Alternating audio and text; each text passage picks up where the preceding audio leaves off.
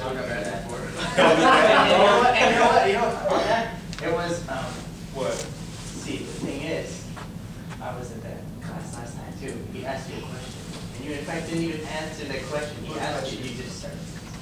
You didn't even answer his question, that's why, see, it was challenging for you mentally, because you couldn't answer his question. What was You the just question? shouted What, what was the question?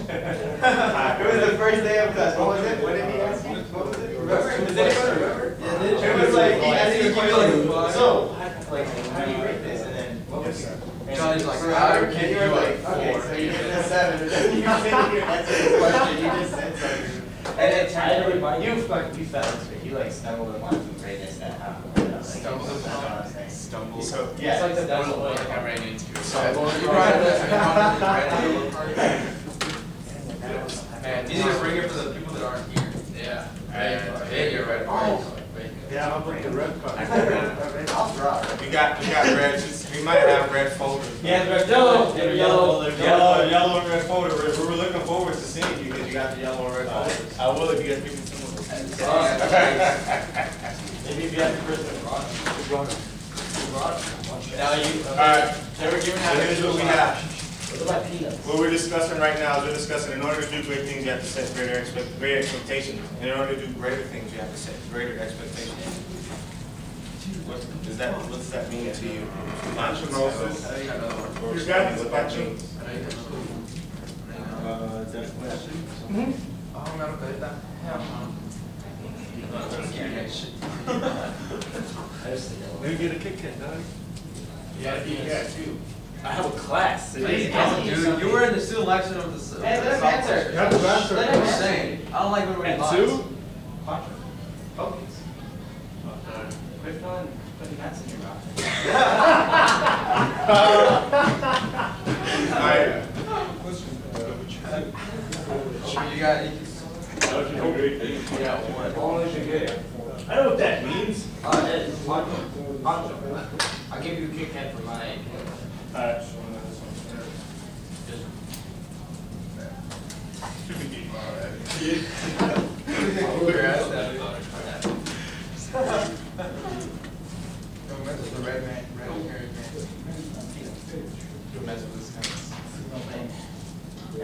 bought a whole bag for everyone. You don't mess with. You don't mess with ginger peas. Where's Brian? Brian told me to do. Right, Right, you do it. I don't have time to rhyme. Right. I don't care, I wasn't an idiot, but. What are you doing? Where's the movie that scary movie? We're just trying to get bro, you point.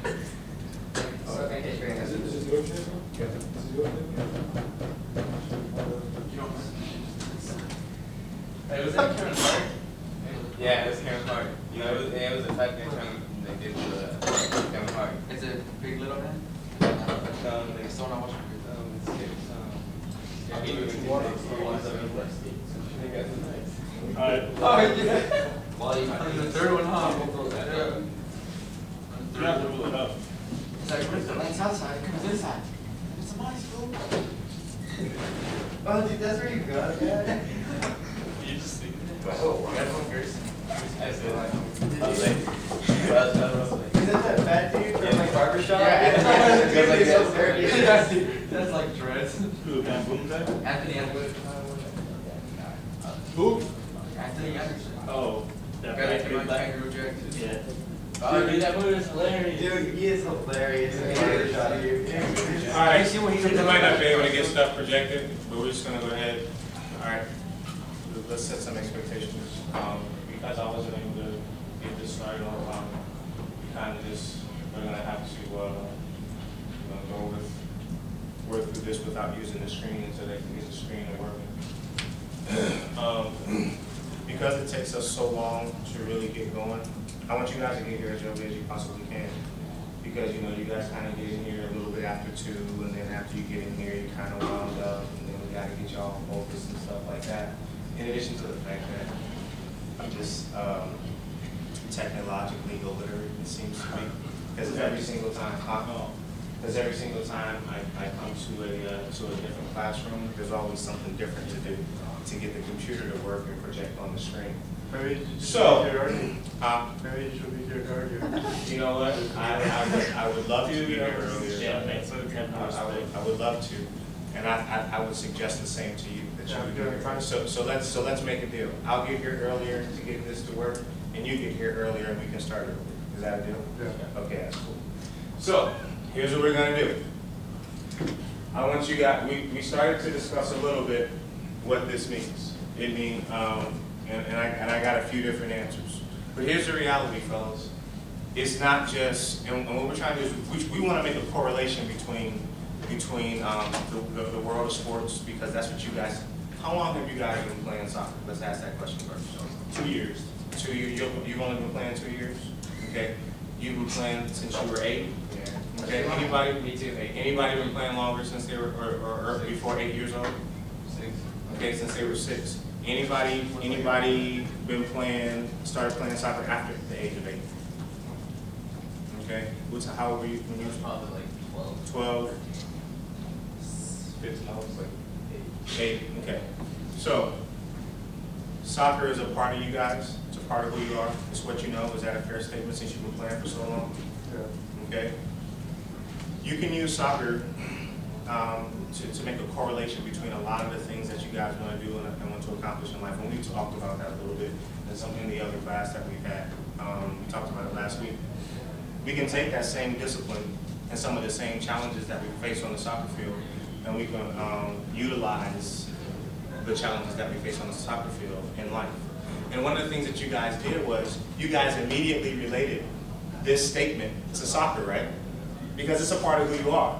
I was the same way whenever I played football. And what I've done is I've taken the, the, the, um, the disciplines associated with football and I've utilized those disciplines in my professional life and also in my personal life. Okay? So, great expectations. When you, so I'll use myself for an example. Whenever I started this company, um, shot down, shot down, shot down. Tried to get into the high schools, high schools wouldn't let me in. Um, I'm still trying to get into some of the Division One schools, you know, that's a challenge. Um, I'm here at some of the community colleges. Um, but this, this wasn't something that happened for me overnight. So, what- so what you have to do is, you have to raise the bar, and you have to set expectations. In order to do, in order for me to take it one step further, I have to set greater expectations. And so I've taken the thing, because here's the thing, guys, football was something that was never easy for me. You know, when I was, and and we, and we went through the timeline, and we're gonna, we're gonna talk about that today for you guys that weren't here on Thursday. We talked about some of the things that have, um, that have developed you and that have formed you, okay?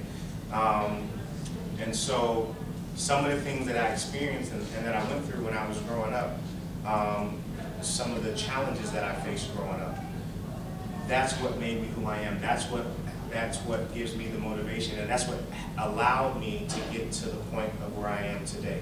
All those challenges that I faced at an early age.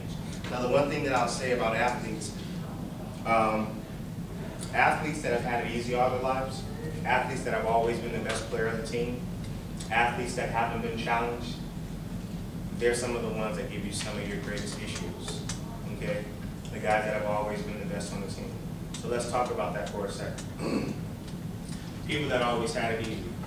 People that always, um, that were, that were always the better players. Can you guys think of some of the players, maybe football, basketball, soccer, anybody that, that, that you might see today that, um, that, that has some challenges and they can't seem to get out of their own way. That's what I refer to it as. You got a lot of people that can't seem to get out of their own way. Can you guys think anybody? We talked about a couple of people.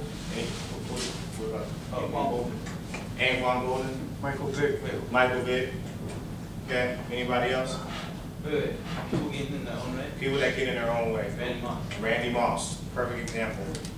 I. Allen Iverson, okay? Why do you guys say, let's, so let's say, let's talk about Randy Moss, let's talk about Allen Iverson. Um, why do you guys say that Randy Moss seems to continue to get in his own way? He just doesn't shut up. Doesn't shut up, his mouth? But he was, he wasn't always like that, was he? Yeah. They said that he, he, he, um, he did some things at the high school level, um, got kicked out of Florida State, ended up having, you guys know that Randy Moss signed with Notre Dame out of high school, right?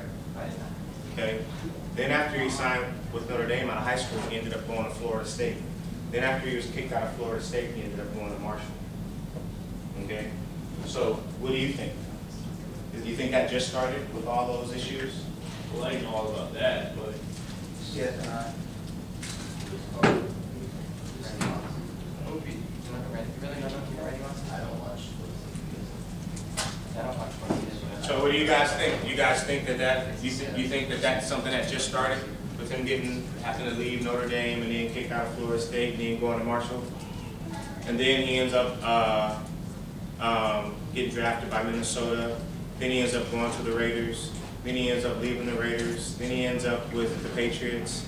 Then he ends up with the Vikings. A couple of weeks later, four weeks later to be exact, now he's with, uh, Tennessee Titans. Is there, is there a, um, a history there of, of issues? Big history. Big history, okay? They said, I won't say they said, um, what's the, what's the coach's name that used to coach at Notre Dame? The older gentleman?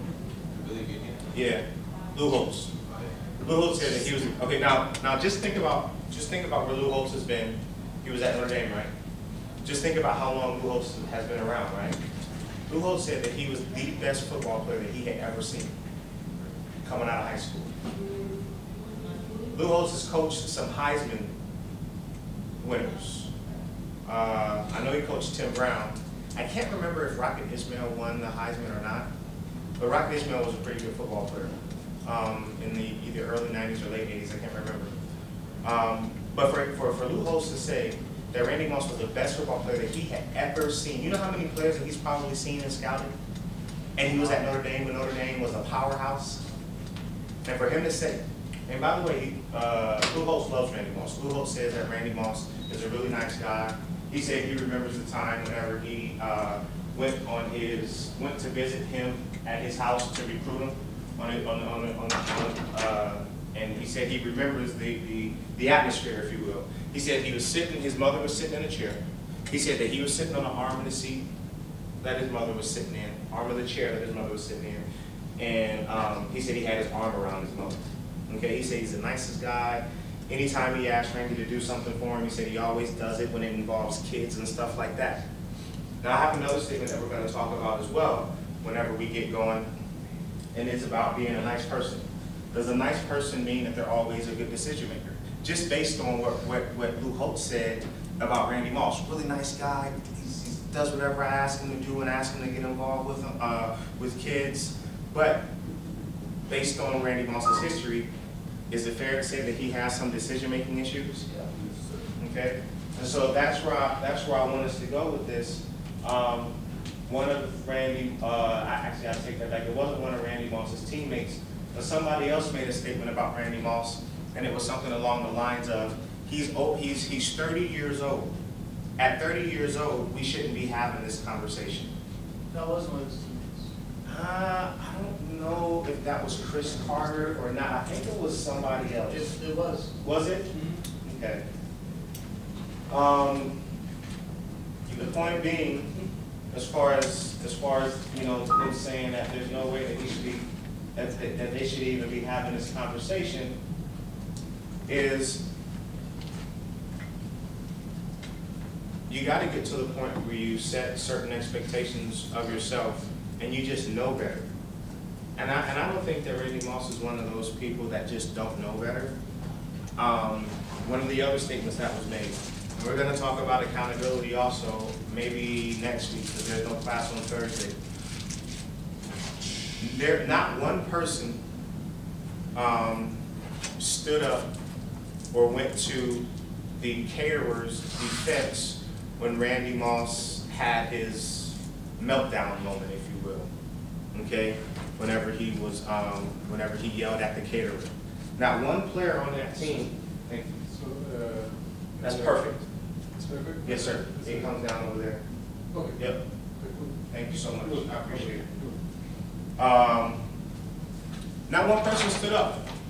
If you guys were all together and somebody did something that was out of line, that was inappropriate, that was unnecessary, every single one of you guys should be about ready to, to, to, to, to, to not only slap them, but to, to hold them accountable. Okay? But the problem with Randy Moss not being held accountable is, I'm gonna go out, I might get in trouble for saying this, because this is, this, is- this is being recorded, is if Randy Moss doesn't first, actually, I won't say he, he won't, so I'll say if. If Randy Moss does not take responsibility for his own actions, Randy Moss can't be held accountable by anybody. Does that make sense? So if he's not willing to take responsibility for his actions and his behaviors, how can somebody else hold him responsible for those actions or behaviors? You see what I'm saying? Yeah. That's why the word responsibility and accountability are so, like this, are so much, are so tied together. Okay? So, last week, where we left off was, we left off talking about, um, the, the, uh, the, the complex, um, timeline. Okay? Uh, did you guys take the time at all to do any of the timeline stuff? You forgot?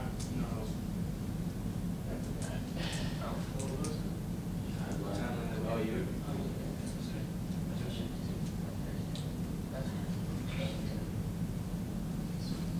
Okay?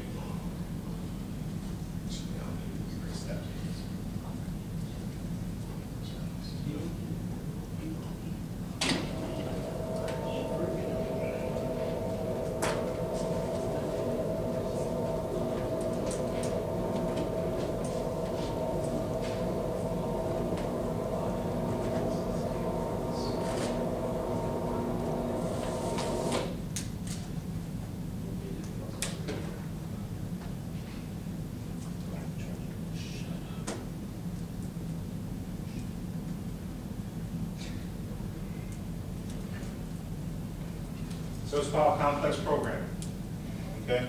So when we talk about complex programming, let's, let's revisit this a little bit.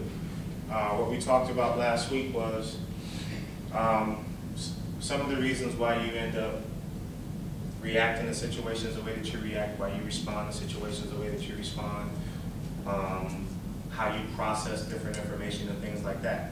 A lot of that stuff is really based on the premise of, um, complex, okay? And so when we talk about the word complex, it's a group of repressed desires and memories that exerts a dominating influence upon our personality.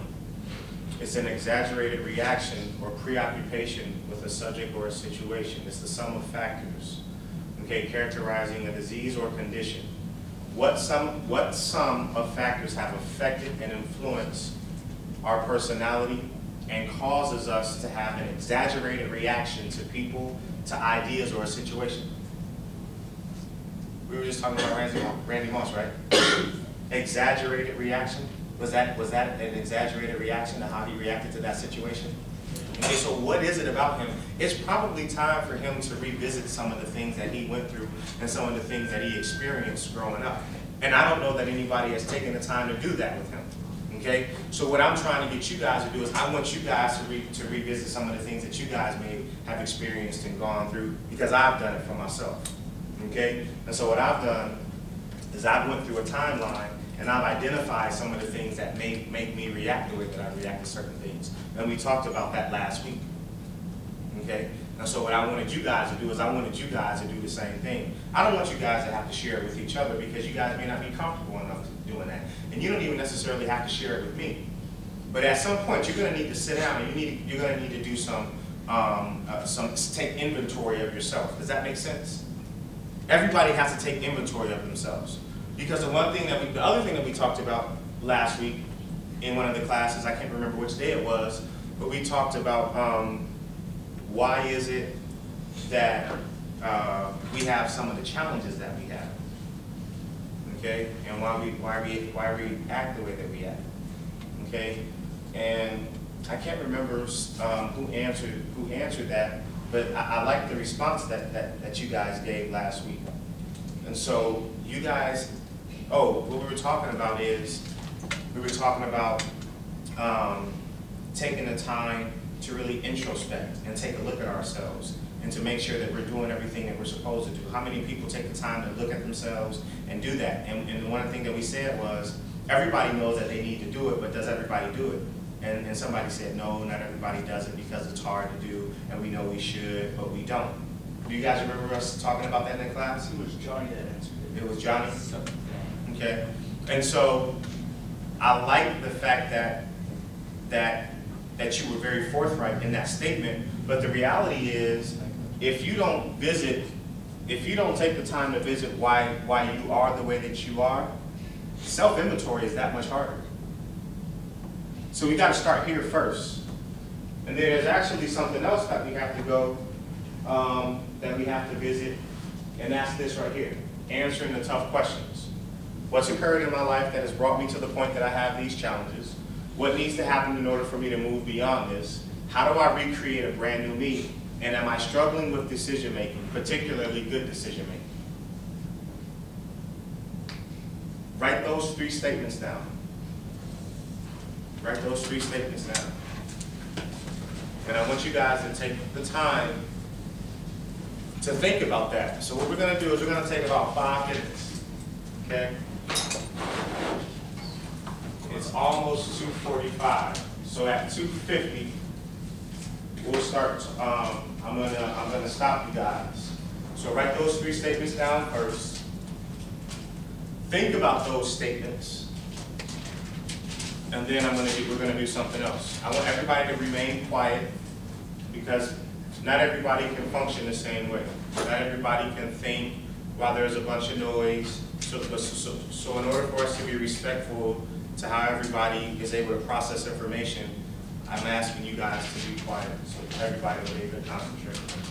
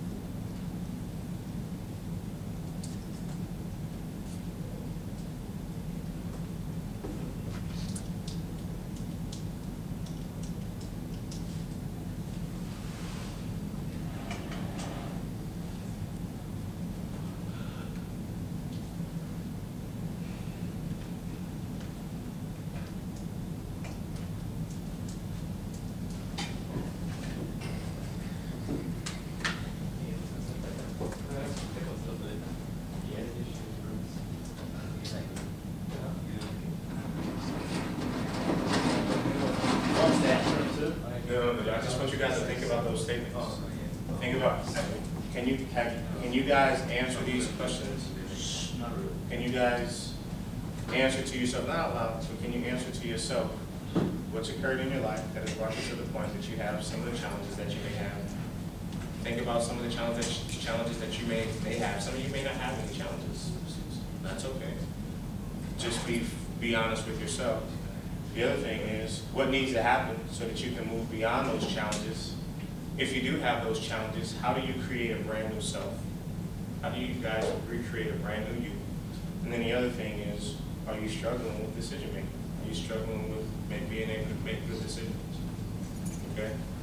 So those are, those are questions that you guys have to just really take a look at yourselves and answer, not to answer out loud. Okay? So have you guys, did you guys think about that stuff yet? I mean, it's really, takes more than five minutes to really do, but, you know, for the sake of time, know, five minutes. Okay? And then the other thing, if you guys have taken the time to think about it, and you already have answered that question to yourself, here's what I want you guys to do. Um, on a scale of one to ten, okay, I want you guys, a ten being, okay, if- that's it, let me, let me, let me rewind, let me go back. If you guys were by yourself, you had no phone, you had no ability to interact with anybody else, um, if you had no TV, no computer, no PlayStation, no video games at all, nothing. It's just you on a remote desert island, okay? Um, it's just you, water, and a palm tree, okay? How would you rate yourself on a scale of one to ten? One. Okay? Um, in terms of you being comfortable just being there by yourself. Okay, a ten saying, I love being by myself. I think that I'm a, I'm a ten on a scale of one to ten. I don't need anybody else. I can, I'm cool with spending time to myself, to my own thoughts and all kind of stuff like that. And then a one being, I hate being by myself. I don't like being by myself. I'm about to try to jump into a shark's mouth so I won't have to continue to go through this because you're, you're out at the ocean, okay? Palm tree, ocean. Close your eyes, think about that. You're, you're, you're leaning against a palm tree, no books to read, no nothing, okay? You might be able to write in journal, okay? But no books to read, no nothing. It's just you to your own thoughts, okay? How do you, how would you rank yourself on a scale of one to ten? Okay, so take the time to think about that. After you've thought about this stuff that's on the board, after you've thought about what I just said, on a scale of one to ten, what would you give, what number would you give yourself? Without anybody else seeing, don't show those numbers to anybody else. Write that number down. Write that number down. Wait a minute, before you write it down, really think about it. Close your eyes. Picture, picture this in your mind. Close your eyes, everybody, close your eyes. Close your eyes. Don't be scared. I'm not gonna bite you guys. I'm, I'm, I'll make sure nobody kisses you while you're not looking. Okay? Make sure of that. And really take, take a minute to write down that number, or, or think about that, and then we'll write down that number. I'll give you guys about a minute to think about that. Don't fall asleep though.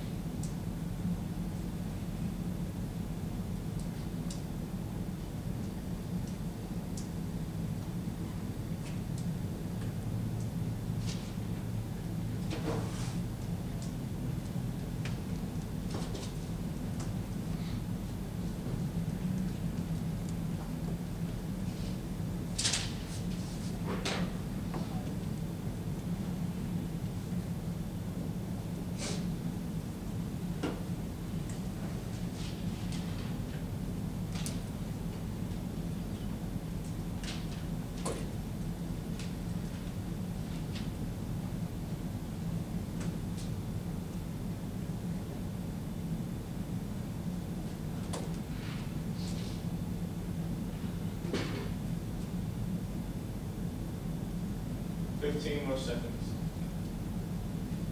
And then you guys can write your number. I'll put you guys out of your misery. I won't take you out. You know, I'll let you guys, you won't, you don't have to be quiet. I'm sure that's tough.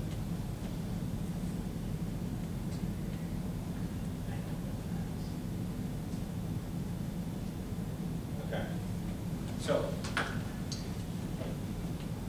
if you haven't written the number, write the number. Um, Keep the number to yourself. It says a lot about what you guys, how you guys see yourself. Okay? And it says a lot about, it'll, it'll, it'll be a strong indication um, as to what you guys may want to do to get yourself to the number that you'd like to be at. How many people are away from the number that they'd like to be at? Raise your hand if you're away from the number you'd like to be at, on a scale of one to ten. Everybody's at their ideal number? So everybody's a ten on a scale of one to ten? Uh, over right. Yeah, that's what I like, guys. Okay? Okay, so let's talk about this for a second, and let's get some clarity and shed some light on this, okay? I have a program called Under Construction, okay? Under construction means we never remain the same. We're always doing something to improve who we are and where we are in life. Okay? And so as people, we talked about it a little bit last week, being a finished product. Remember last week we talked about, has there ever been a time that you guys have purchased something from the store and you had to return it because it wasn't ready? It goes on all the time. Uh, What's the company who does the iPhones and all that stuff? They put out stuff all the time, guys, that's not, that's not a finished product. But because, what's so great about, about that company is, when they put stuff out to market, they, they put it out right away because it creates a buzz. And that, but you know how everybody's always at the store to get their, to get, to get that product, okay? And so, every time they put a product out, is there, is there usually a problem with it? Absolutely. There's usually a problem with the product that they put out. Be it, be it the phone, be it the pad, be it um, the computer. How many people have you guys heard, or how many times have you, have you guys read something that said that there was a problem with one of those products? Every single time, right? Numerous people have done it, right? Well, it's not quite a finished product. We're, we're no different. We're no different from the standpoint of, we're not a finished product. But because of the people that we interact with on a regular basis, this is what they get. They get an unfinished product. So we're constantly what? Under construction, right? Does that make sense? Yeah. Okay, so, do you guys hope to get to a ten on a scale of one to ten?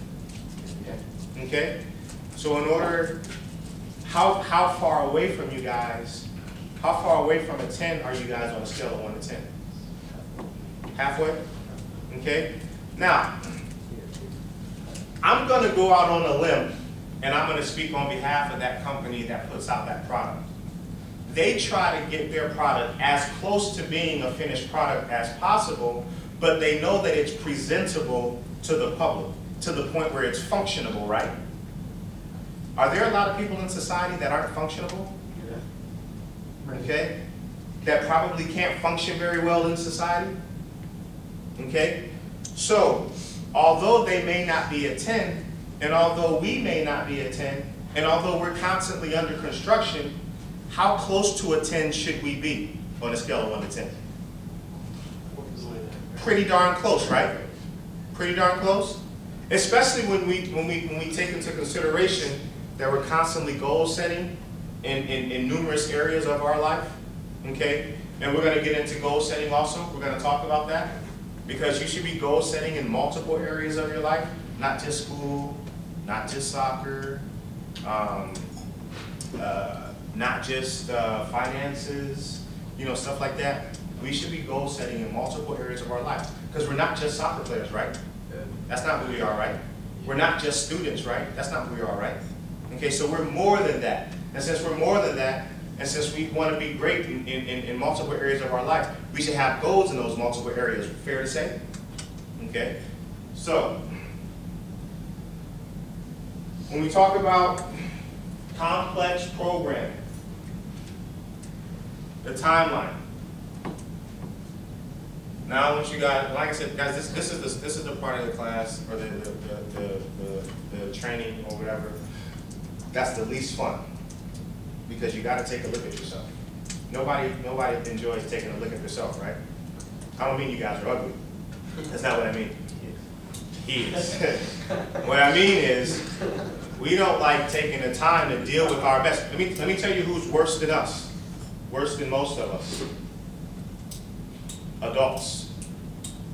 Because adults are supposed to have everything intact, right?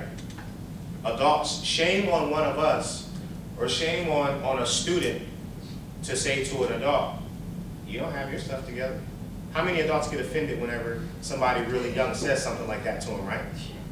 They get really offended. And that's why I always like being honest and upfront with you guys. I said that from the first time that I was able to meet you guys. I'm never gonna pull any punches, I'm never gonna hold anything back, I'm always gonna be forthright with you guys. You guys talk about, I think, I think in you guys, uh, term, terminology is keeping it real, right?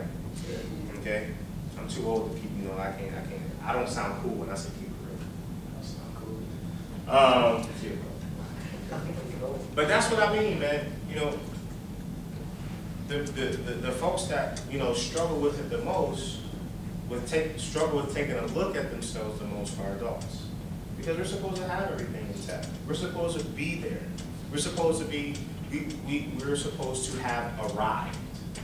Okay? So, based on the statement that I made earlier, if we're constantly under construction, no matter, no matter what age you are, you haven't arrived yet. It's an ongoing process. We should be constantly, we should constantly evolve and constantly get better, right? Yeah. Right, so it doesn't matter how old we are, we're constantly getting better. So, can you guys do me a favor? Like, this is, uh, this is like really important, you know, for, for, um, for, for me, actually, it's more important for you. Can you guys, since we don't have class on Thursday, can you guys do the, do the timeline, please? Right now. Oh. You don't have to do it right now. No, you don't have to do it right now. The next class? Yeah, for next Tuesday. For our, for my life? Yeah, for your life, from, from the time that you were born, from the time that you were born, up until the day that you, the moment, the second that you've done this. You guys do the timeline. Okay? Remember, we talked about last week birth order. Um, you know, if you were, if you ended up being born into a sibling, if you will, so if you had a, an older sibling, um, you know, how that may have affected you. If you were the oldest and you were the firstborn, um, and then you had siblings later, because I can tell you, I wasn't excited when I had my, when my siblings came. I was four and a half years, I was like, I got this. I'm, I'm, I'm gonna be an only child, you know? Four and a half years later, here comes my brother.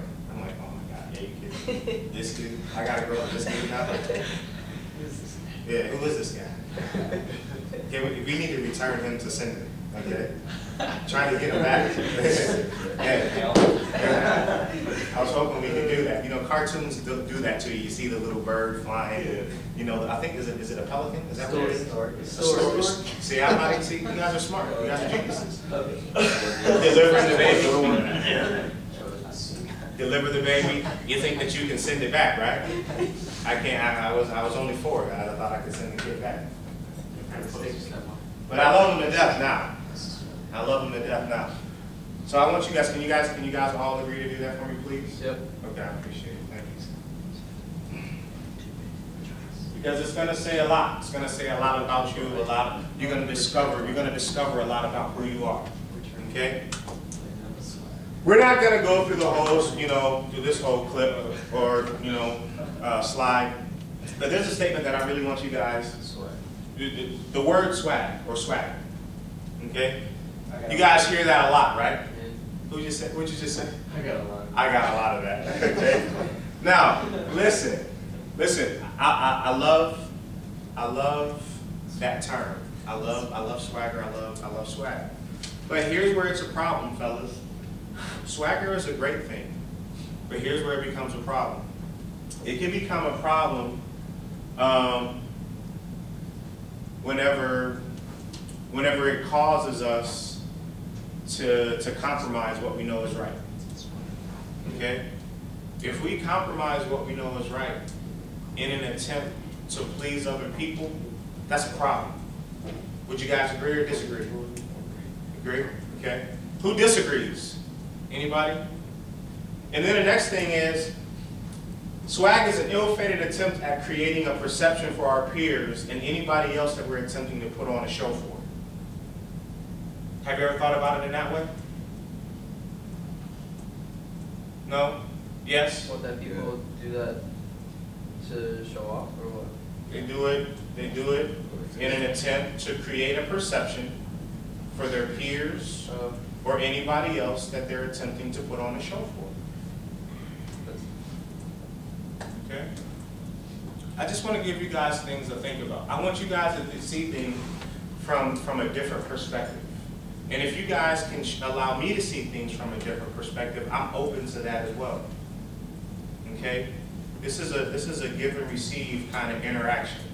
Okay?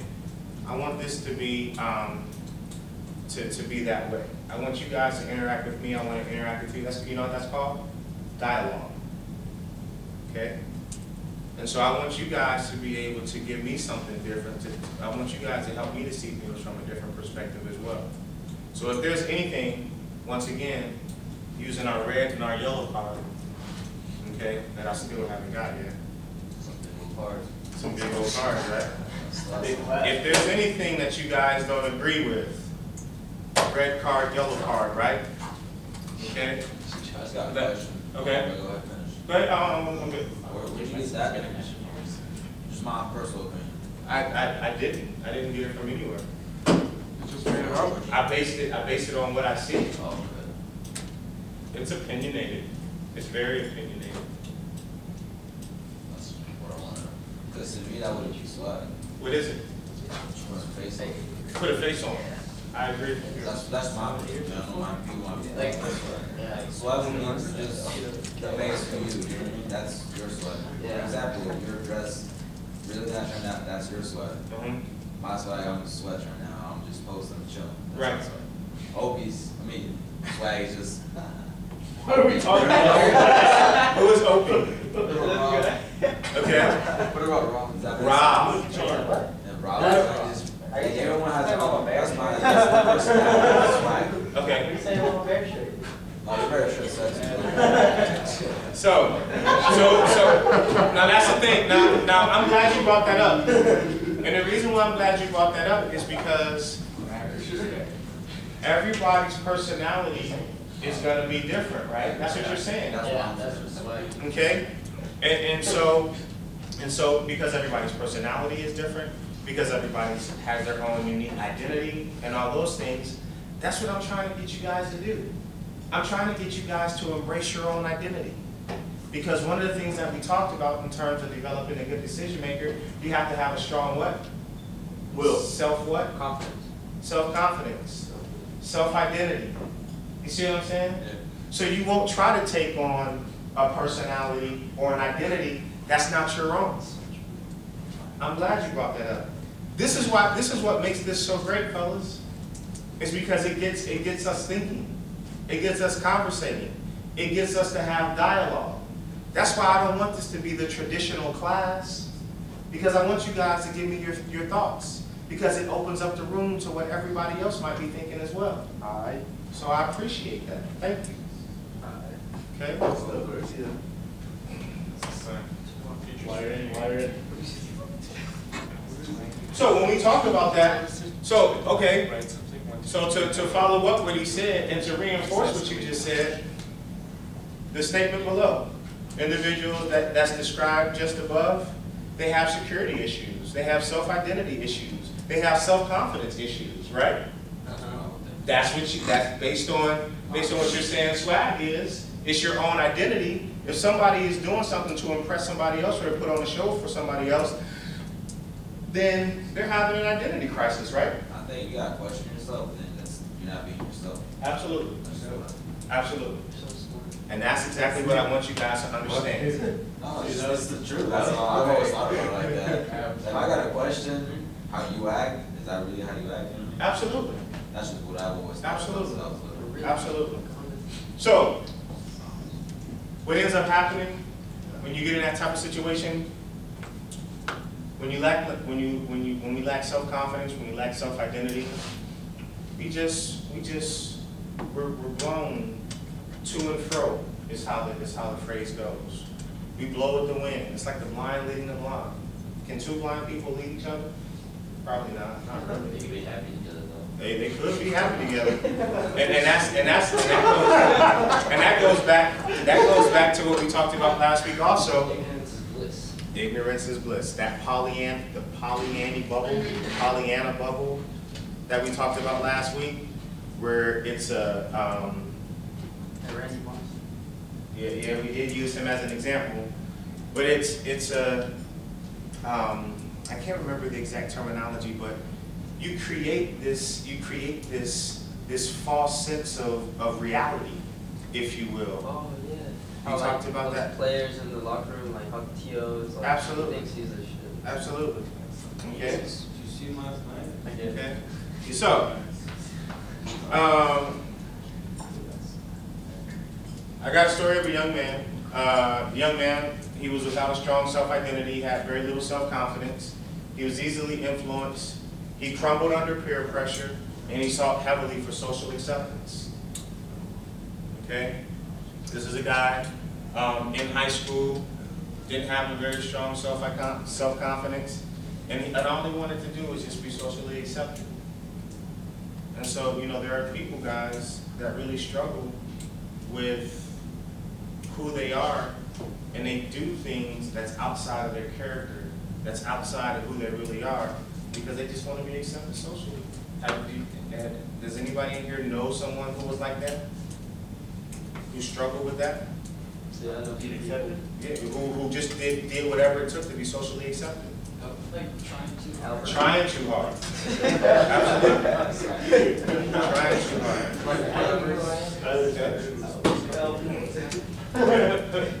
Oh, so, guys, whenever we, when you think about it, when you think about it, this is why children are under the watchful care and supervision of a responsible adult or a guardian. Okay? Guardians are supposed to give us vision, they're supposed to give us direction, and they're- supposed to speak life into us. Because a lot of times, we're still, we're still being molded, so that we can develop our own identity and different things like that. Okay? It's called transition, it's called evolution, and it's called advancement. Okay? Reality is, we talked about it a little bit earlier, there's adult, there are adults that continue to suffer from a depleted self-confidence and a faulty self-identity. True statement, based on what we just talked about? Good. Okay?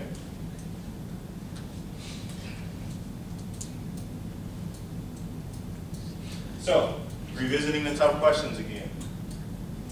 What has occurred in your life that has brought you to the point that you have the challenges that you have?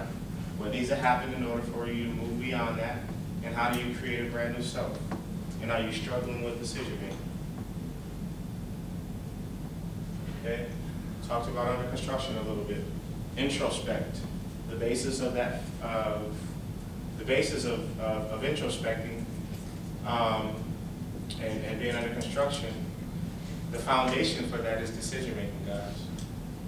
You have to constantly ask yourself, are you okay with what you see? Actually, I want you to write these questions down. You don't have to do the under, under construction part, you don't have to do uh, the introspection. Start with the self-check or soul search, it's never ending. Okay? Self-check and soul search is never ending. Can you guys see that or is it too small? It's good. It's too small?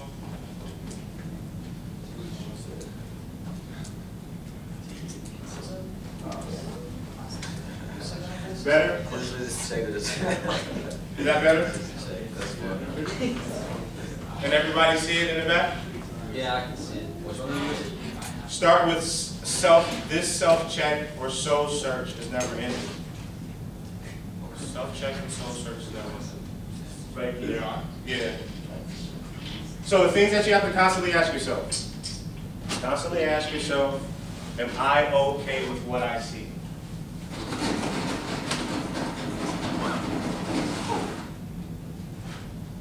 And it's not a matter of if you're okay with what you see on the outside, but it's an internal investigation. How do you view yourself?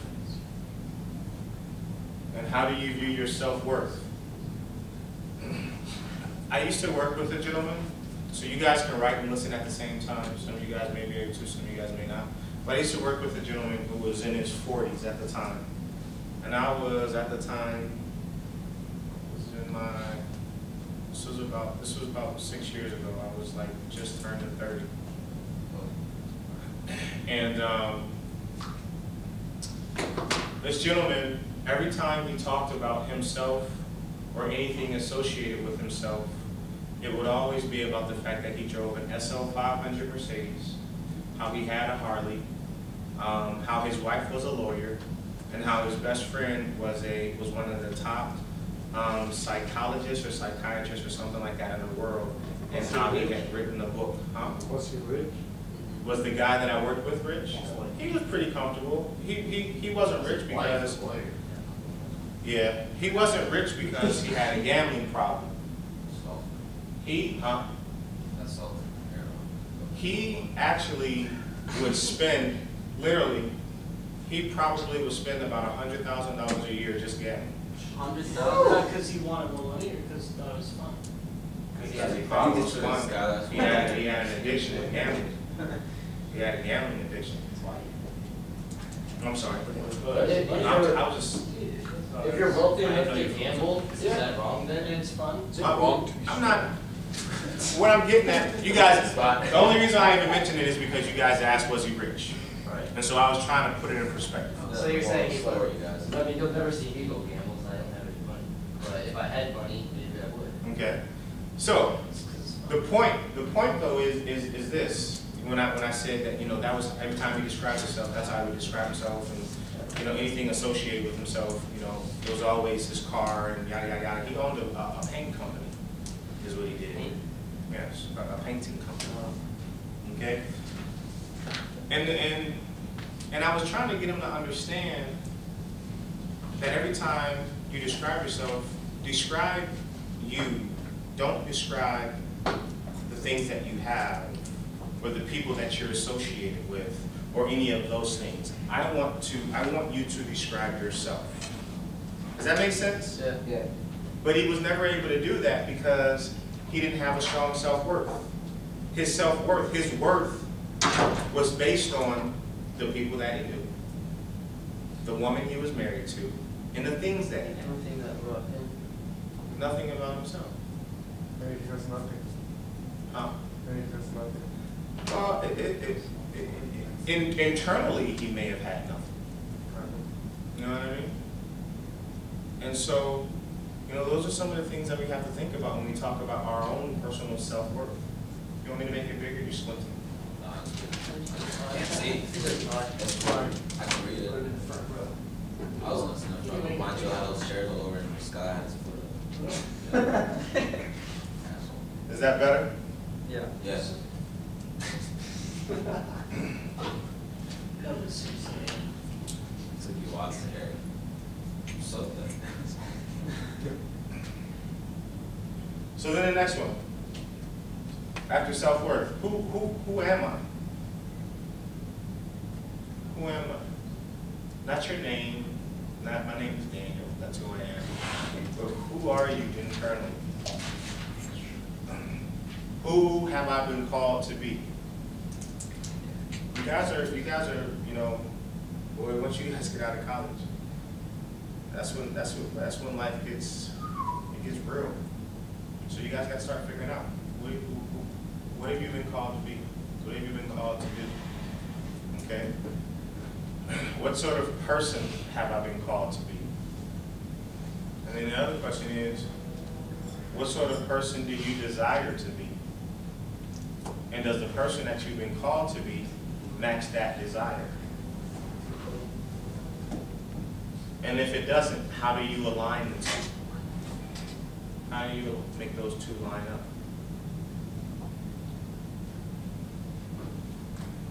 Are you afraid to be true to yourself?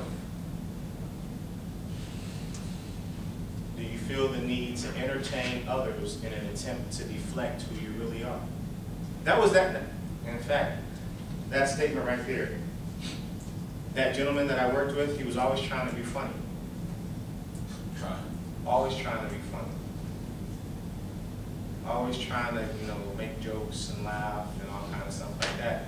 Could have been a couple of, one of a couple of things. It could have been the pain that he, that he was really feeling internally and all the things that he was going through. And it also could have been, he was just trying to deflect who he really, what he was really feeling and who he really was. And what's really going on with it. It's a way for people to, to, it's a way for him to keep people shut out and not really show his true feelings and, and what he's really dealing with. Okay? Um, do my actions show my strength? Meaning, um, do your actions, uh, do your behaviors um, reflect the fact that you're willing to stand up for what you know is right? Okay? Do you have the strength to take a stand for what you believe in? And then the other question is, do you compromise, are you compromising the opportunities that you have been given? And are you compromising your future in an attempt to increase and strengthen your self-worth? Or at the very least, how you want others to see you? Like, these are all like questions that you guys, you know, have to answer for yourself. So when you guys are doing the, the timeline and all kind of stuff like that, you guys, you guys gotta visit all that, all that stuff. So, Anybody need more time to write that? No? No?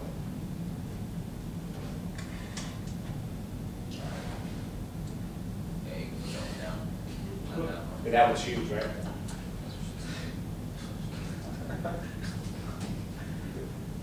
You said a read disruptive. Listen. Okay, so what we talked about, what we talked about a little earlier, white nice is never enough. Okay? It's, it's never enough to just be a nice person. Okay? We should be nice people, but being nice, nice, it's, it's just not enough. Yes, Guys, okay? You have to come face to face with reality. You have to look yourself in the mirror. You gotta be truthful with yourself. Okay? Some people avoid that at all costs. Some people avoid, like we talked about it before, some people don't like to take a look at themselves, take a look at who they are, and all kind of stuff like that. Some people don't like to be truthful with themselves, and some people avoid it. They do everything they- that, that they can and keep themselves. You guys know people that always constantly keep themselves busy? They have to keep themselves busy? Okay. Okay? There may be, there, there may be something, you know, to that. There may be a reason why they have to keep themselves busy, not just to be busy. Okay? This avoidance has cost people things of little value as well as things of great value. Okay? Most recently, a young man who was just getting ready to start his life and play football at Notre Dame, he lost his life as a result of poor decision making. There was a gentleman, this kid was on about a, uh, he was on spring break, just this past spring. Uh, took a trip somewhere, can't remember, he was a high school All-American, played offensive line. He signed to go to Notre Dame. He fell off of a balcony at a hotel. Did you guys hear about that? Yeah. Was it drunk? Here's some alcohol involved. He was 18. 18 years old, we shouldn't have been drinking. Against the law. Okay? So, you know, uh, uh, you know, something that could have, something that could have totally been avoided. You know, and then, and not only that, it, it, he could have been, it could have been that he was horse playing. It could have been that there was a, a, a couple of guys out there on the balcony, you know, just goofing off and messing around and, he might have been showing off, you know, doing something like this. You know, just acting like he was gonna fall, and, you know, that time he really did fall. But when you have alcohol involved, and you got a bunch of people out goofing around, as opposed to saying, hey, you know, what, what we're doing here is, is it really worth it? You, you gotta have, you gotta surround yourself with people that's gonna bring out the best in you, and we're gonna talk about that next. Surrounding yourself with people that's gonna bring out the best in you. Okay, and if you don't surround yourself with people that's gonna bring out the best in you, then you might end up with a situation like this. Now, I'm not saying that that was, that was what happened with him, but in all likelihood, I, I, let me relate it to my own self personally. Okay, Here- that's what I'll do. I didn't always surround myself with, with people that brought out the best in me. It wasn't until later that I started surrounding myself with people that brought out the best in me. I ran with knuckleheads. Okay? Growing up, I ran with knuckleheads. Every single knucklehead that I ran with, every one of them has been in jail. Every single one. Okay? From the time that I started playing ball at about age nine, all the way up until I was about 15, 16 years old. And then I met a young man who changed my life for the better for the rest of my life. Okay? His dad did well. He was one of the, they were one of the first minorities that I met who worked, was not an athlete, who did very well for themselves, who did very well for himself financially. Um, um, had a really good job uh, working at the, um, the local phone company or what have you, and was like an, an executive for that company. Um, the young man actually um, ended up being a high school valedictorian of our high school, and he wrestled, and he was like the class president or something like that.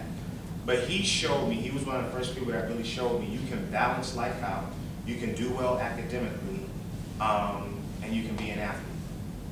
Okay? All the other guys that I ran with, they weren't able to, and I wasn't at the time, I wasn't able to comprehend that. Okay? That you don't have to be a knucklehead to be an athlete. Okay? And it wasn't it wasn't until I met him that I really started to say, okay, I see how this is supposed to work. So you gotta surround yourself with people that's gonna bring out the best in you. Okay? Well, we're gonna get into that. Okay?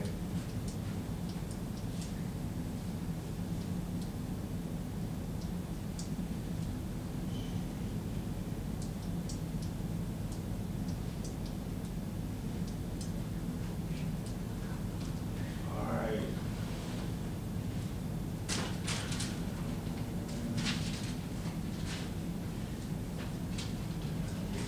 So accountable, responsible.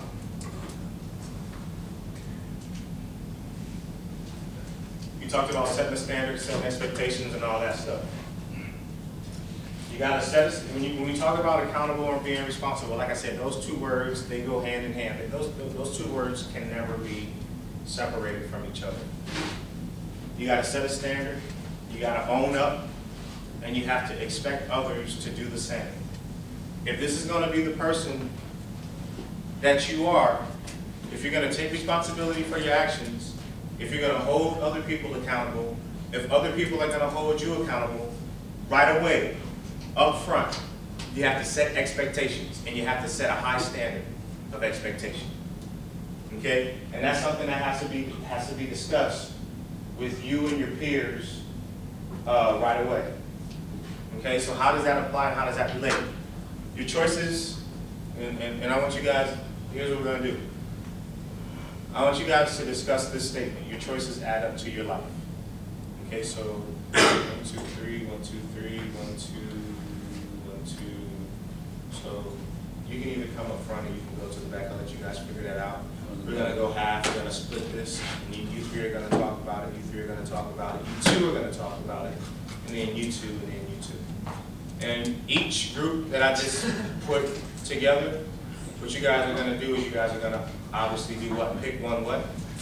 Representative to, to speak on behalf of the group, okay? We know you're not gonna speak on behalf of the group. You never speak on behalf of the group. We always try to get you to. Where's Curly? And we, yeah, that's what I was just about to ask. Where's Fernando? Yeah, where's, where's, where's your partner at? JC, JC. Where's, where's, Your. Where's You guys always do the pause the whole thing, you know, if you say park, got it. What are you talking about? I was, I was asking questions. Oh, I, I, when I say apartment, I'm not saying apartment. See, wiring, wiring. Huh?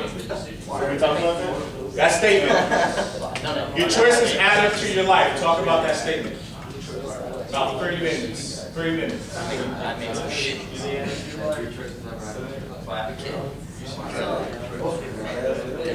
you shoot somebody, you get caught, it's gonna add up to your life. If you don't, Still gonna add up to your life. I can't. That's horrible. But it's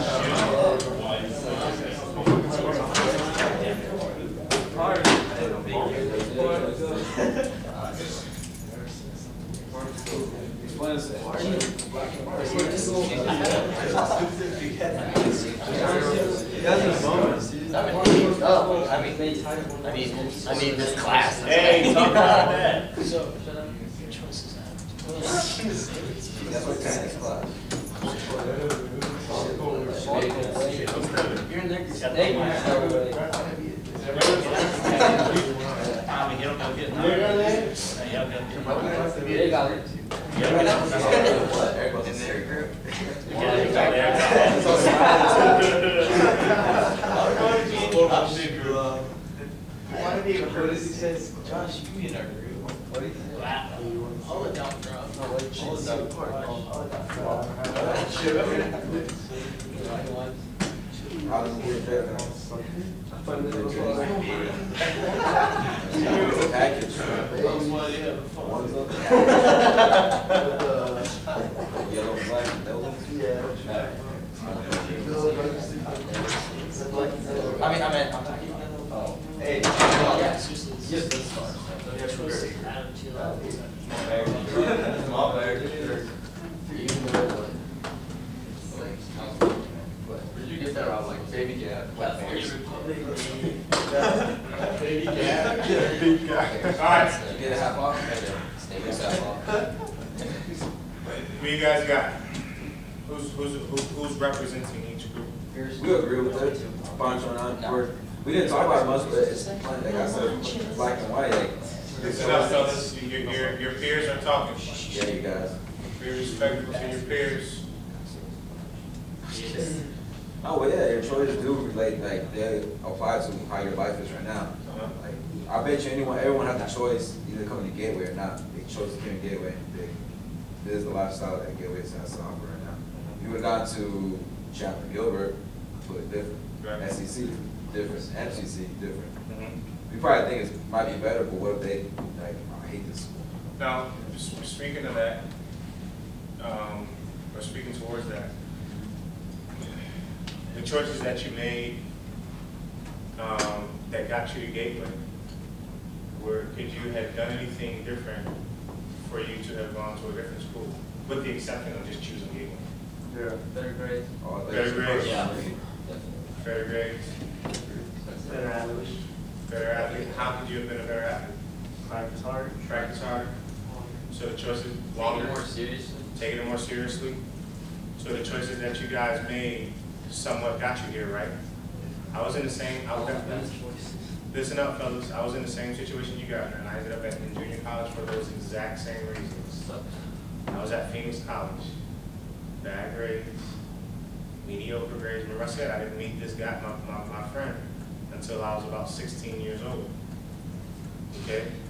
And so, by the time you're sixteen, now you're trying to, you know, make a U-turn in life, you know, because you realize you're going the wrong way. You know, it's, it's kind of, you know, you- to get that far down, you know, down the road, and then try to make that U-turn, that makes that distance that you have to travel that much more further, right? Yeah. Okay, and it does suck. And, and, you- and, and this is why I'm here, fellas. I'm here because those, those, you know, everything that I went through and everything that I experienced, it's made me into the person that I am today. Now, you might say it sucks now. The person that you guys are gonna turn out, the people that you guys are gonna turn out to be. I, I, if I had to, um, speak on, or speak on behalf of the type of people that you guys are gonna turn out to be, I think that you guys are gonna be, um, are gonna be able to face adversity better. I think that you guys are gonna understand what it means to come face to face with tough situations. Because the situation that you guys are in right now, especially you guys that are either out of state or out of the area, who might be from like, who, who- or New Mexico or Mexico or wherever, who, who, who doesn't have family right here in the Phoenix area, to have to go to junior college, fellas, where there's no dorms and no scholarships and stuff like that, that's tough. To have to maybe have a job and be an athlete and go to school And do homework. and do homework, And pay the bills. That's what we're going to school. I, I, I I went through that. Good for everybody. I know what that's like. That's not easy. And washing your clothes. And washing your clothes. No, let- let- let- let me tell- it's real. I, it's, it's so real, man. I mean, people have no idea. I didn't know until I moved in with this guy. It was like the experience of my life. Yeah. Yeah. It's tough. So, so your mom used to do that, that, and, and before I try to, before you feel like I'm trying to embarrass you, my mother used to, my mother did my laundry all the way until I left home. My mom still does my laundry. And, I, and I'm so, and I'm so jealous. You're still at home, man. I'm so jealous. Let me say something. I'm so jealous because I wish that my mother could have helped me as much as she possibly could have. And I was talking to somebody today. She's actually from New York, but her mother lives out here. She was like, "Yeah, my mom told me to do this, this, and this." I was like, "Oh my God, I wish I had my mom out here." And I'm, I'm in my thirties, and I wish I had my mother out here. I love to be able to go to her house for sun, on Sundays for dinner and stuff like that. Still, That's nice. that'd be cool. Mm-hmm. Yeah. Okay? Now, what I'm saying is, you guys are experiencing and going through what it means to face challenges and to face adversity. So I believe that you guys are gonna be able to understand what it's like whenever you guys get older and you guys come face to face with some of the challenges that you're gonna come face to face with, and you're gonna be able to walk away victorious. Does that make sense? Because a lot of the stuff that you guys are going through right now is gonna develop you guys into the people that you're gonna be. And so, let me tell you how much I respect you guys for what you guys are going through right now. Because going to junior college and being an athlete and having to do your own laundry and all that stuff, Cook. and cook for yourself, and pay your own rent, and work a job, And wash the dishes. and wash the dishes, it's tough. It's tough. So I really have a great deal of respect for you guys and everything that you guys are going through. And I don't know that you guys, I don't know that you guys hear that enough. I mean, I'm proud of you guys for the way that you guys handled this challenge that you guys are facing right now. And it's gonna say a lot about who you guys end up being by how you guys get through this. It's gonna define who you guys are in a lot of ways. And you guys that are going on this trip next week to Kansas, let me tell you something. When you get to a university, and you can get to a university in your own scholarship, oh my God, it's night and day. You got scholarship money, they pay for everything, they pay for your food. I loved it when I got my scholarship.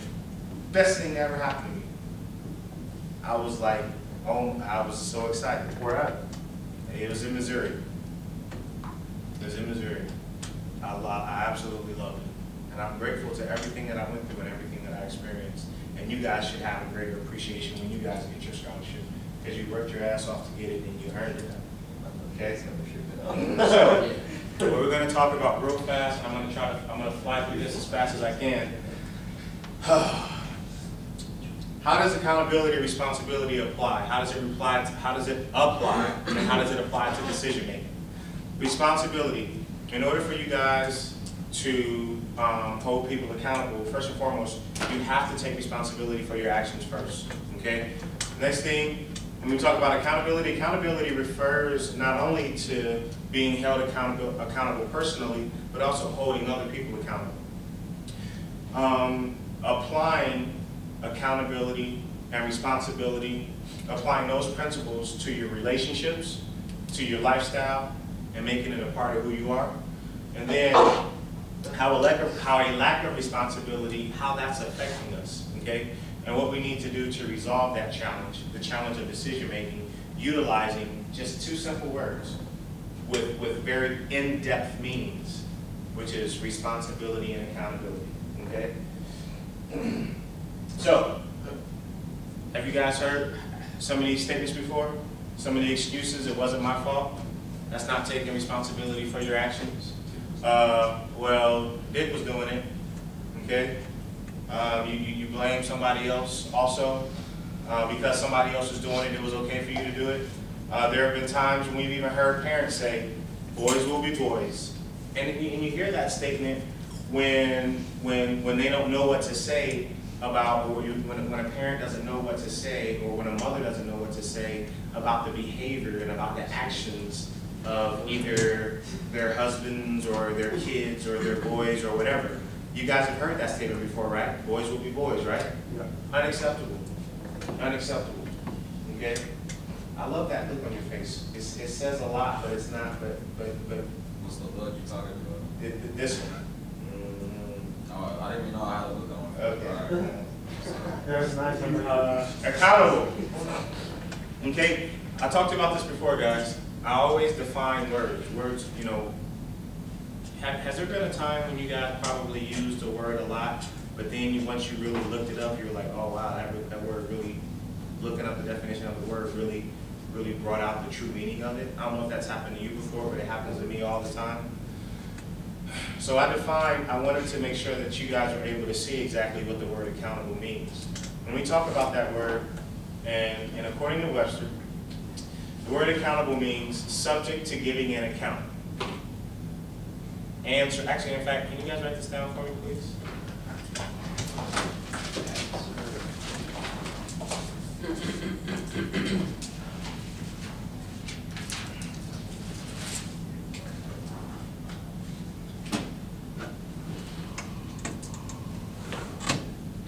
Just write accountable, subject to giving an account. You got two dots, which are colons, which means answerable. And then you can put another colon, and it says capable of being accounted for.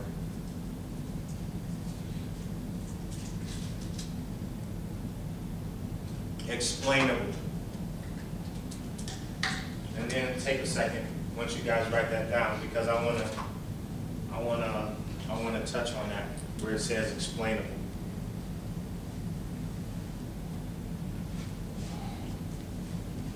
Have you guys ever heard somebody say, I don't have to explain anything to you?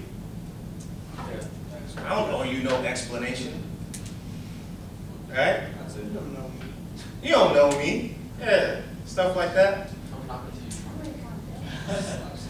you. Clear my house. That means that they will not be answerable to anyone. They have a problem with being held accountable. Okay? I don't, I'm, I'm not, I don't have to explain anything to you. I don't have to explain myself to you. When you, when you hear someone make a statement like that, fellas, it says a lot about that individual. It says a lot about the character of that individual. Okay? Um, What if a parent says it to you? Like when you question it, is that different? You know, from the standpoint of respecting authority, from the standpoint of respecting your mother and your father, and, and, and, and to not to get into a confrontational situ- situation with them, I think that, I think that, one thing that my father used to always say to me is, my father used to always say, it's not what you say, it's how you say it. So if they open up that door, and, and, and, and for example, my dad, my dad said to me, it's not what you say, it's how you say it. You can say, Dad, Mom, I know you said it's not what you say, it's how you said it. It's not what you say, it's how you say it. So I really want to say something, and I want to put this as easily as possible, as gently as possible, um, as, as nurturing as I possibly can. Right. And then you say, then you, then you, you go into whatever you're gonna go into, okay? Because what you do, what you have to do is, if, if you know that that's gonna be a touchy situation, you have to segue that. Not, uh, you know, or, or you have to preface what you're gonna say with a statement like, hey, you know, one of the things that you said to me is not what you say, it's how you say it. So I wanna, I wanna, I wanna, okay, this, this, you know, this is gonna be something that may be, um, um, uh, touchy a bit. So allow me to, I wanna be as gentle as I can, I wanna be as nurturing as I can before I say this. Okay? So that might be the best way to approach it. Now, if you end up with a big, you know, one of these big, you know, handprints on your face, careful, be careful. At least, at least, and, you know, that, that may not, that may not happen to you, but that probably would have happened to me. I probably would have ended up with a on my. Now, um, my question, so, so, so, so that's, you know, when we talk about that whole explainable thing, guys. Uh, from accountable, we get the word accountability. The word accountability means the quality or state of being accountable. It's an obligation or a willingness to accept responsibility. There's that word again. Okay, so the word accountability, when we look up the word accountability, you see the word responsibility in the definition of accountability. See what I'm saying? Willingness to accept responsibility or to account for your actions. Okay? So in other words, accountability is a willingness to accept responsibility for your own, for, for one's actions. That's what that means. So now we go to the word responsible. Okay? Again, according to Webster's Dictionary, write this down. Man, all this writing you could be doing on the paper, you're writing on the cup. Man. I mean, you could like be like just taking so many notes and you're writing on the cup. I'm like just blown away. Unbelievable.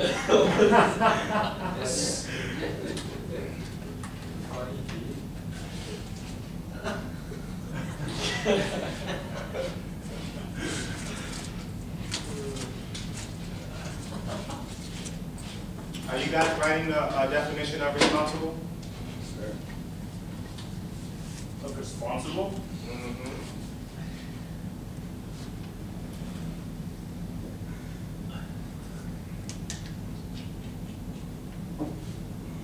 So according to Webster's, the word responsible means you're able to answer for your conduct,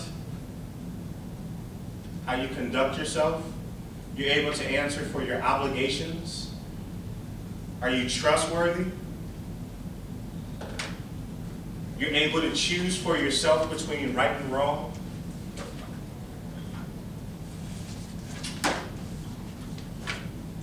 That's the definition of responsible. So now when we bring that all together, and when we apply this, when we apply responsible and accountable, when we apply responsibility and accountability, it's the, and I definitely want you to write down this one, okay? It's the ability to choose for yourself between right and wrong with a willingness and an obligation to be accounted for, for any decision and any choice one makes. For example, it's the ability to identify the things that you have to do versus the things that you want to do. And we're going to get into that another time. The things that you have to do versus the things that you want to do. Okay? Make sure, make sure that you write down this, this, this right here. If you guys walk, if you guys don't take anything else with you from the time that we spend together, just take this right here. If nothing else. I think that might be like the most serious definition in terms of decision making that you guys, you know, can, can leave with.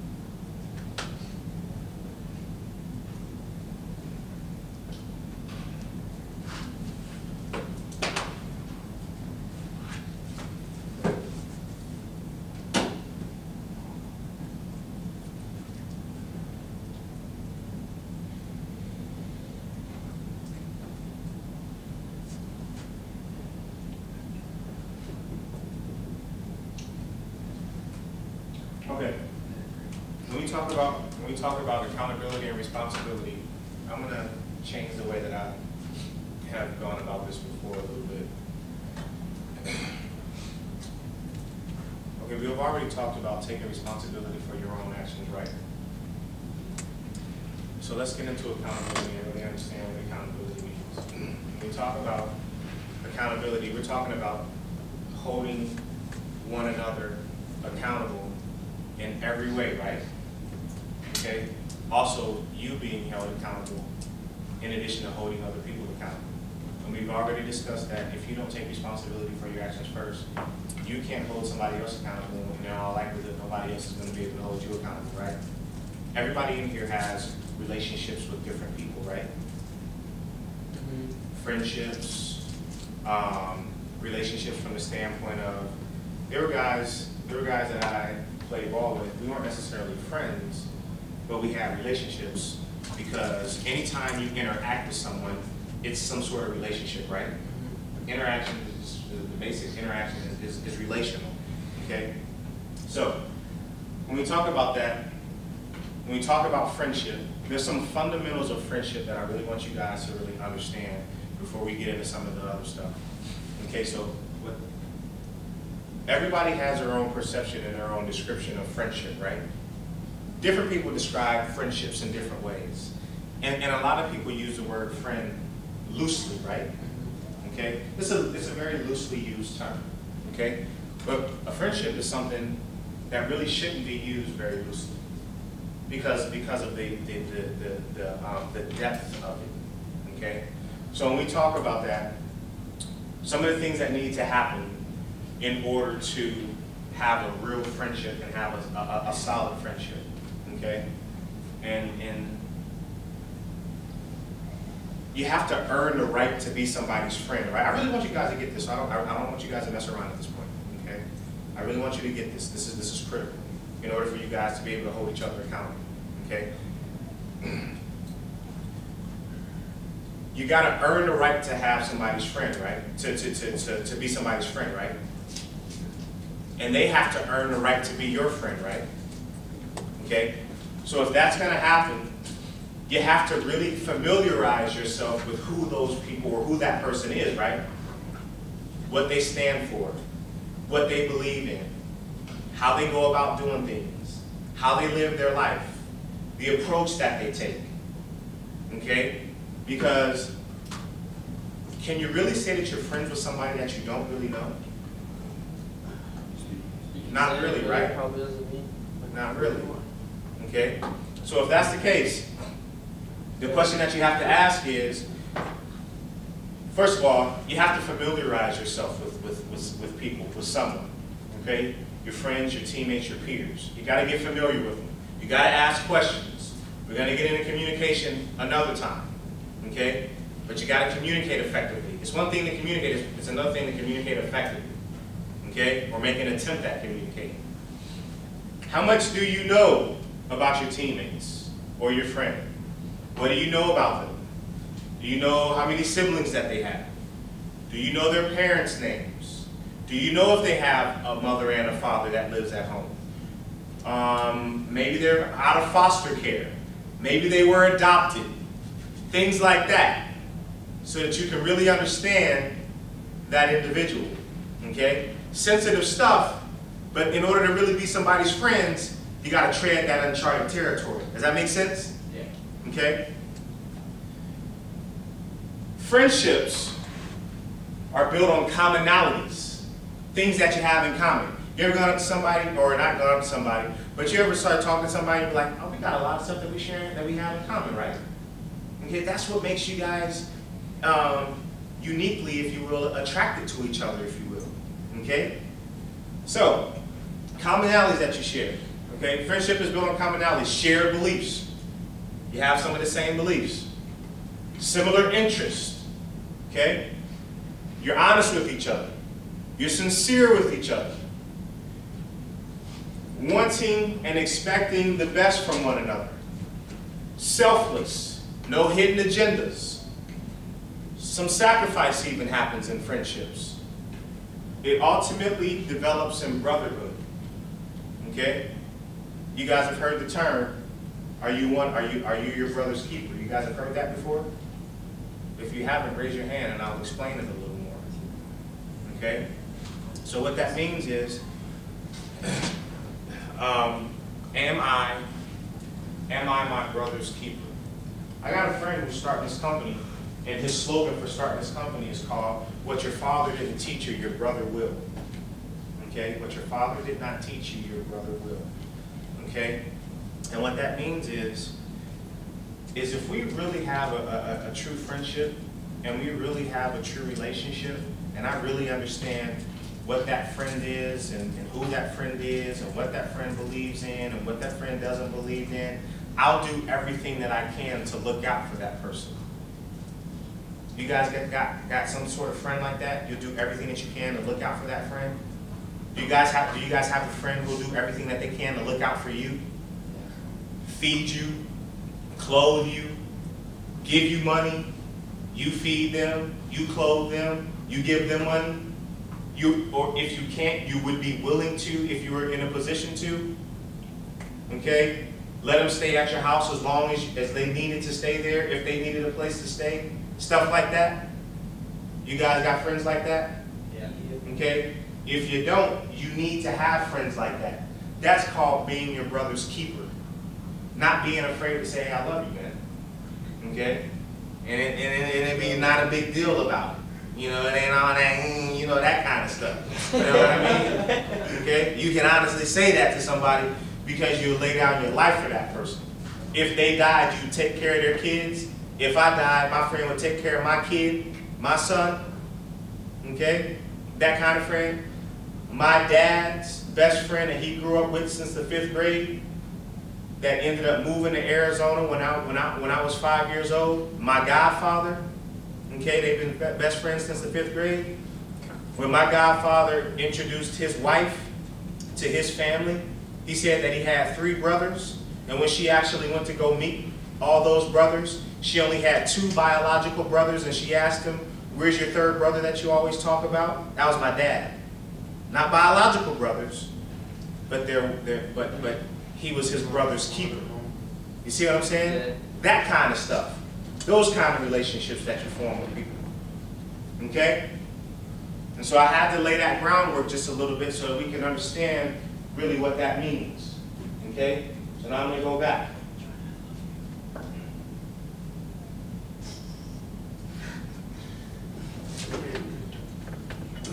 Right now, there's a false sense of reality that goes on, fellas, when we talk about accountability and responsibility and taking responsibility for your actions and different things like that. Society has created a false sense of reality for us. Okay? When you don't take responsibility, it creates a false sense of reality. When you don't take, responsi- take responsibility for your actions, decisions, and choices that you make, you develop a false sense of reality. In fact, people who aren't held accountable and they're not penalized for what they're doing, they're being misled. Okay? Your choices add up to your life, the statement that we started out with. Okay? Those that feel as if they do not have to comply or believe that they are privileged to play by a different set of rules, they create a false sense of reality. Okay? And I'll give you guys an example of that here in a second. Not only for themselves, but for those that watch their every move. Okay? For the people and the youth that watch everything that they do. Okay? One of the best examples of that is I am not a role model.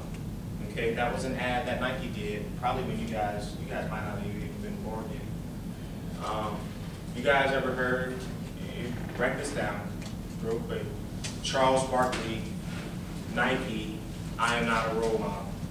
Look it up on YouTube and play the video. You know the new LeBron commercial? Yeah, it was, it was, Okay, wherever wherever LeBron was like, I'm not a role model. Wink, wink. Hi, Chuck. yeah. That was that was that was Charles Barkley because there was a, a commercial that Nike did, um, either in the '90s or the late '80s, where Charles Barkley was saying that he's not a role model. Okay, that's what that means. Okay, that's why that's why uh, that's why LeBron did that. Okay.